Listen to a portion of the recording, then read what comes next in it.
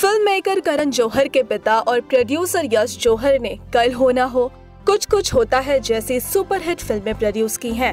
उनकी फ़िल्मों की विशेषता भव्य सेट और विदेशी लोकेशंस रहे हैं। बंटवारे के बाद यश जौहर का परिवार दिल्ली आ गया था। यहाँ आकर यश जौहर के पिता ने नान किंग स्वीट्स नाम से मिठाई की दुकान खोली। यश अपने नौ भाई बहनों में सबसे ज़्यादा पढ़े लिखे थे। इस वजह से उनके पिता ने दुकान पर बैठा दिया, जिससे वो हिसाब किताब कर सके।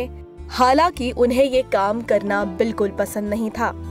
यश जौहर की माँ ने उनका साथ दिया और कहा कि तुम मुंबई चले जाओ। मिठाई की दुकान संभालने के लिए तुम बने भी नहीं हो। माँ ने यश को मुंबई भेजने के लिए घर से गहने और पैसे गायब कर दिए, जिसका शक सिक्योरिटी वाले पर गया और उसकी पिटाई भी हुई।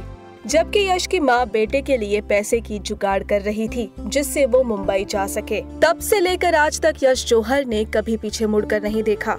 26 जून 2004 में यश जौहर ने आखिरी सांस ली।